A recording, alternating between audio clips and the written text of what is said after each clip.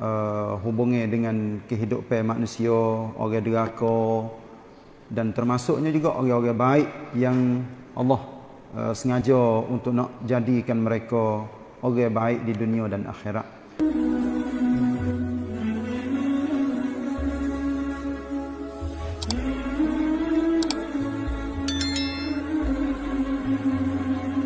Bismillahirrahmanirrahim.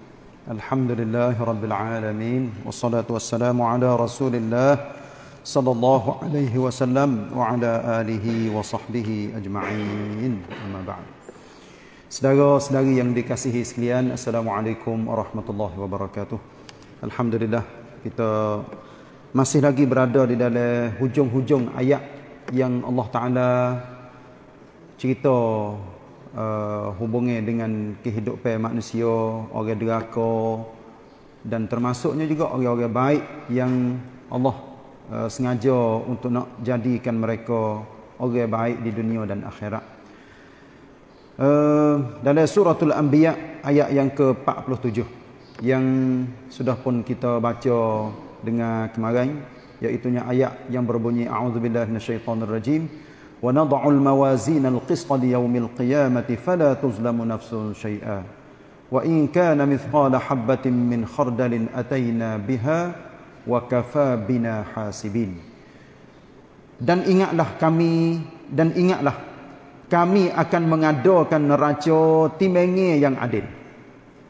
Untuk menimai amal makhluk-makhluk pada hari kiamat maka tidak ada diri sesiapa yang akan teranyanyai sedikit pun maknanya tidak ada orang zalim tidak ada orang yang kena zalim dan jika amalnya itu seberat biji sawi sekalipun, nescaya kami akan mendatangkannya untuk ditimbang dan dihitung dan cukuplah kami sebagai penghitung. Jadi ayat ni kecek hubungnya dengan amalan manusia dan timbangi amalan-amalan mereka di hari akhirat. Satu hadis ataupun dua hadis dah kita masuk ni duduk dalam kitab Al-Misbahul Munir. Rekasih daripada tafsir Ibn Kathir muka 867. Nabi SAW bersabda yang dicerita daripada Abu Hurairah radhiyallahu anhu. Ha ni nak wi kita amal belaka ni. Nah, walaupun biasa dengar dah, biasa ngaji dah tapi boleh jadi terlupa, ingat ataupun lalai gitulah lebih kurang. Nabi sebut iaitunya kalimatan. Kalimatan khafifatan 'ala lisan thaqilatan fil mizan habibatan ila rahman. Subhanallahi wa bihamdihi subhanallahil azim Nabi sebut katanya dua kelimah dua perkataan ataupun dua sebut teh yang rengeh sebut di lidah. Beratnya timbangnya di neraca. Neraca ni iaitu timbangnya di kelo Allah Taala. Lepas tu sangat dikasihi di sisi Allah Ar-Rahman. Iaitu apa tu? Mudah-mudah yang sebut eh subhanallah wa bihamdih. Subhanallahil azim ha, jadi kita pun jadi basah semua lidah kita dengan zikir kepada Allah. Tak mesti katanya hak ni saja tapi ada lagi. Yang Nabi sebut katanya siapa yang sebut subhanallah wa bihamdih subhanallah wa bihamdih soy maka di tane kepada dia sepokok pohon tama di dalam syurga. Sebut sekali subhanallah wa bihamdih apatah lagi ada hadis kelebihan yang Nabi sebut Siapa yang sebut subhanallah wa bihamdih sehari ni seratus kali. Nascaya dosa-dosanya diampun. Supaya juga kita lepas pada semaya. Hak ni saya ruang belakang ni sebut ni. Kita lepas pada semaya tiap-tiap waktu. Jangan lupa baca ayat kursi. La ilaha illa huwal hayyul qayyum la ta'khudhuhu sinatun wa la naum. Baca satu ayat eh, ayat kursi ni duduk dalam suratul Baqarah ayat yang ke-255. Ingat semua. Lepas pada semaya gaduh lah setara mana nak pergi kerja kau nak pergi gapo. Tapi kena baca ayat kursi. Lepas tu lepas pada baca ayat kursi dengan wirid Subhanallah, subhanallah, subhanallah. 33 kali. Alhamdulillah, alhamdulillah 33 kali. Allahu akbar, Allahu akbar 33 kali. Lepas tu akhir dengan la ilaha illallah wahdahu la syarikalah lahul mulku wa lahul hamdu wa huwa ala kulli syai'in qadir. Ni satu riwayat ni. Walaupun ada riwayat lain, cara lain yang ada dua tiga perkara lagi. Dua tiga pesan lagi boleh kita zikir lepas pada semaya. Tapi ambil hak ni 33 33 33 maka cukup 100 la ilaha illallah wahdahu la syarikalah maka nabi katanya diampun dosa orang yang sebut saat ni tu walaupun banyak buih di laut sekalipun ini ha, kelebihan dalam dalam beramal. Lepas tu sakut dengan ayat ni ada satu hadis panjang juga ni saya baca dah lepas tu terjemuh sekaligus lalu dah. Hubungi dengan timbal amalan iaitunya ada hadis ni ada di dalam musnad Imam Ahmad dari Aisyah radhiyallahu anha dia katanya anna rajulan min ashabi Rasulillah sallallahu alaihi wasallam bay jalasa baina yadayhi فقال يا رسول الله إن لي مملوكين يكذبونني ويخونونني ويعصونني وأضربهم وأشتمهم فكيف أنا منهم فقال له رسول الله صلى الله عليه وسلم يحسب ما خانوك وعصوك وكذبوك وعقابك إياهم فإن كان عقابك إياهم بقدر ذنوبهم كان كفافا لك كان كفافا لا لك ولا عليك. وإن كان عقابك إياهم دون ذنوبهم كان فضلا لك وإن كان عقابك إياهم فوق ذنوبهم اقتص لهم منك الفضل الذي آه، بقي آه، قبلك. فجعل الرجل يبكي بين يدي رسول الله صلى الله عليه وسلم ويهتتف فقال رسول الله صلى الله عليه وسلم ما له لا يقرأ كتاب الله ونضع الموازين القسط ليوم القيامة فلا تظلم نفس شيئا وإن كان مثقال حبة من خردل أتينا بها وكفى بنا حاسبين. فقال الرجل يا رسول الله أجد شيئا خيرا من فراق هؤلاء؟ يعني عبيده inni ushiduka annahum ahraru kulluhum. Ah, Panjang ya, sikit dak maksudnya ada seorang lelaki sahabat nabi dia duduk depan nabi. Duduk depan benar-benar. bila nabi duduk kecek raya ha ugamu lalu itulah. Dia royak kepada nabi mengadu ha kepada nabi. Dia katanya wahai rasulullah saya ni ada hamba banyak orang. Ya, ada hamba banyak orang. Hamba-hamba tu kadang-kadang kecek bohong dengan saya. Menipu saya. Kelong lah. Jadi hamba kelong toke. Ha, tu. Lalu tu lah. Saya pun godel dia. Godel dia.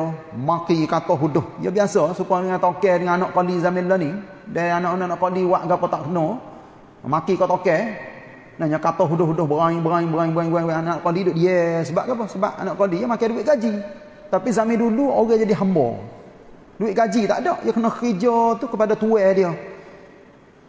Seorang sahabat hak tanya nabi ni dia tanya fa kaifa ana minhum? Bagaimana saya ni? Lepas pada dia dengar nabi duk royak royak royak royak ha timbal amalan dia berasa katanya eh dia godek hamba dia dia maki dia kata. Ha tu. Sebab apa? Sebab hamba dia menipu. Hamba dia khianat kelong ke tu kelong ke ni nabi royak katanya dikira amalan maknanya Allah Taala akan clear panha gapo hok mung buat kepada hamba-hamba mung hok pasal duk godek duk gapo tu. Mengikut qada hak dia khianat mung dia menipu mung dia bohong kepada mung mung godel dia tak apa. Tapi kalau sekiranya mung buat lebih daripada tu maknanya keun kuahid dia salah sikit ya tapi mung godel supaya nak mati ha tu. Ni tak boleh bila dia dengar nabi duk kecek nabi duk royak katanya apabila mung buat lebih daripada tahap yang sepatutnya maknanya mung akan dikira sikit lagi. Kira maknanya akan adanya kedi di antara mung dengan hamba-hamba mung. Sahabat ni apabila dia dengar macam ni nabi pun baca ayat ni ayat 47 suratul anbiya. wa mawazin al-qist li yawmil qiyamati fala tuzlamu nafsun shay'a baca sampai habis Teriak dia selalu. Teriak depan Nabi sek sek sek sek sek sek sek. Dia berasa katanya dia ni terlalu telajak. Terlajak dalam ha buat huduh kepada hamba-hamba dia nya sepaknya godenya nya tapa. Telatoh depan Nabi. Dia kata kan? Ya Rasulullah, ma ajidu syai'an khairan min firaqi haula, yani abidah. Inni ushiduka annahum ahrarun kulluhum. Dia kata saya dapati hak Nabi duk royak saat ni ada telitah dalam hati saya ni terhadap hamba-hamba. Rasa katanya takut tak kena sikit lagi apabila bangkit di akhirat, puak-puak dia akan dakwa, akan kecek nak apa? Nak minta tutup balah.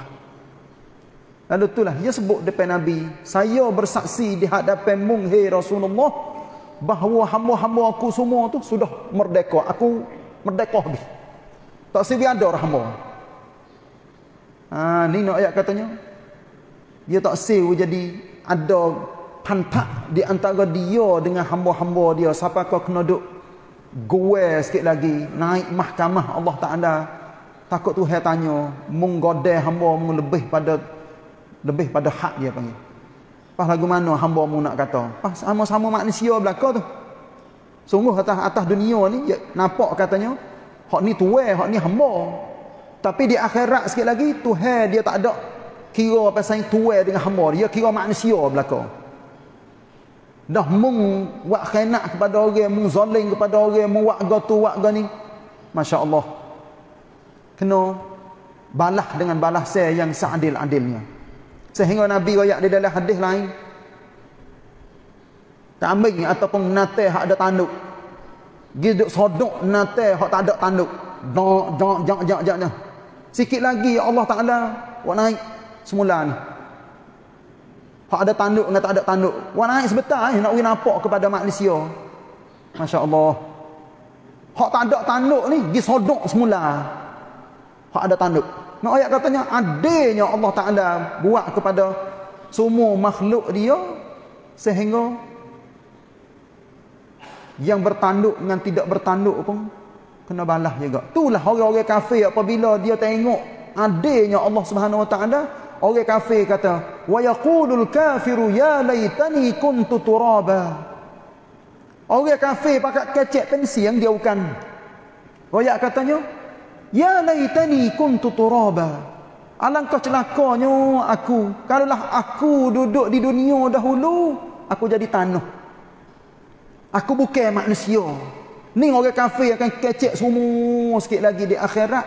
Eh lebih baiknya aku jadi tanah. Bukan nak jadi tanah di akhirat. Tapi nak jadi tanah masa duduk atas dunia ni.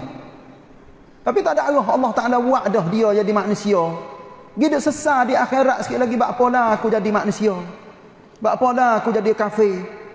Nah, sebab itulah kita alhamdulillah wujadilah manusia yang muslim, yang juruh, yang baik beriman kepada Allah dengan setinggi-tinggi cara beriman kita.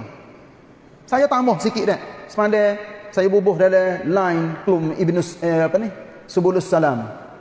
Tengok tang cai nak baca pada hari ni. Ning dek tengok dalam line orang-orang atas saya bubuh. Dia katanya ij'alhu jadwalaka al-yaumi. Jadikanlah benda ni ni sebagai jadual harian mu. Gapo tu? As-salawatul khamsu fi awqatiha. Semaya lima waktu dalam waktu. Maknanya dalam masa dia. Semayalah awal-awal kita ni sebagai orang Islam jangan lewat semaya. Yang kedua, tilawatu safahatin minal Quran baca beberapa muka Quran. Jangan orang Islam tak tepuh langsung dengan Quran, tak baca langsung Quran. Saya dah royak acak-acak kali dah. Mak orang masjid sebelum salam ni masjid jadi kena pandai semua baca Quran. Baca sikit, baca banyak lewat tapi jangan mati kalau sekiranya tak pandai baca Quran. Yang ketiga, azkarus sabahi wal masai min husnil al-muslim. Baca zikir pagi petang daripada kitab ada suti kitab yang dipanggil Husnul Muslim. Iaitunya pagar tubuh orang Islam. Ya kita baca zikir, kita baca apa ni doa-doa ni ia sebagai pagar tubuh kita. Apatah lagi kita baca azkar nabawiyah. Yang keempat, qira'atu thalathati ahadith yaumiyan min riyadhis salihin.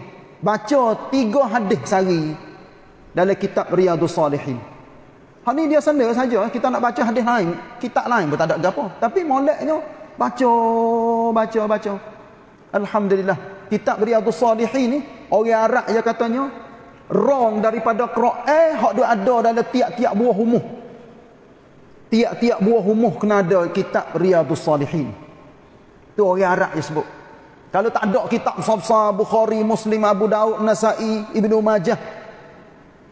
Kalau tak ada hak tu, we ada kitab Riyadhus Salihin, we baca semua dalam keluarga.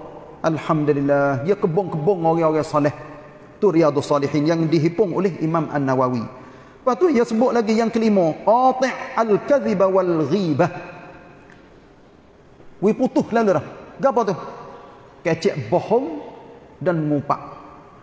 Yang we ada hari-hari. Ada-ada setengah-setengah orang ngupak ni masya-Allah, kau sedap kecek. Berok, berok, berok, berok, berok kata kau orang. Lepas tu seorang lagi bohong. Jangan kecek bohong. Lepas tu seorang lagi dia sebut di sini yang kena nisfu sa'atin masyan masy nisfu sa'ati masyin yaumiyan. Carilah masa setengah je jalan jalan. Orang melangkai lah maksudnya. Kalau tak boleh, orang melangkai dengan cara berat-berat, ber, apa ni? Penat-penat. Jalan, jalan, jalan. Jalan ni adalah semolek-molek. Jalan setengah je sehari. Lepas tu atqinil amal alladhi anta fi. Tekunkanlah hijau-hijau yang munduk buat hari-hari. Ni ah, ajar agama belakang ni. Tekun tu namanya tangcai tam. Jangan buat loy-loy, jangan buat lepas-lepas. Tam cuy-cuy, hai pan. Macam ai. Orang Islam kena buat kerja, buat kerja sungguh. Dan boleh jadi pon tubik pun. Molek. Ha, tak? Sebab sungguh tu. Apatah lagi ikhlas dalam kerja eh. Lepas tu, sum yaumal ithnain wal khamis. Posalah sunat tiap-tiap hari Senin dan hari Khamis. Kalau tak ada kerja penting apa usaha pun jadi hari Senin hari Khamis kita puasa. Tak ada kena duk tazkir, tak ada kena duk royak esok hari Senin weh pakat puasa belaka. Royak tu molek. Tapi pun jadi peracam sokmo kita. Hari Senin hari Khamis kita puasa. Akhir sekali bukan bukan. Belum pada akhir eh. Salli raka'atai ad-duha wa autir qabla an tanam. Semayalah dua rakaat duha dan witir lah. Maknanya semaya witir lah sebelum pada tidur. Kalau sekiranya kita tak yakin katanya nak bangun tengah malam untuk semaya tahajud. Maka semaya witir belum pada tidur. Nah, akhir sekali samih jami'al muslimin wastaghfir lahum yawmiyan. Wi wi maaf kepada semua orang-orang Islam. Samih jami'al muslimin. Dalam hati kita ni jangan we ada dendam, beci, hino. Bahkan orang buat apa-apa kepada kita, kita we maaf sama. Jangan we ada walaupun sikit dalam hati kita. Kita beci, dendam, nak langkan terhadap orang Islam jangan we ada walaupun sikit. Lepas tu wastaghfir lahum yaumiyan. Dan minta apa sama kepada orang-orang Islam ni tiap-tiap hari. Tiap-tiap hari kita doa. Minta ya Allah Taala ampun dosa kita, ibu bapa kita, saudara-saudara kita, keluarga kita dan semua orang muslimin muslimat. Ha ni jadi lagu ni lah dalam hidup kita tiap-tiap hari insya-Allah molek. Saya yakin katanya orang apabila dia hidup dengan amalan hak molek sat ni, dunia dia apa molek? Apatah lagi akhirat dia lebih baik daripada dunia bergano-gano. Itulah sedikit sebanyak sebagai khitam ayat 47 di dalam suratul anbiya. Dan esok insyaallah kita akan masuk tajuknya. Mula al-anbiya iaitu nabi-nabi yang Allah Taala mula sebut. Mula di ayat 48 suratul anbiya. Wallahu a'lam. Wa sallallahu ala nabiyyina muhammad wa ala alihi wa sahbihi wasallam wassalamu alaikum warahmatullahi wabarakatuh